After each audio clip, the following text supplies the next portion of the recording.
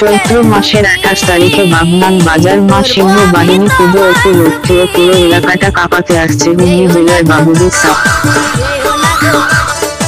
I love you ছেলেরা বিকাশ Rocky, বিজয় গারো ও নিজের বাবুজি সূর্যের বৃত্ত শুনুন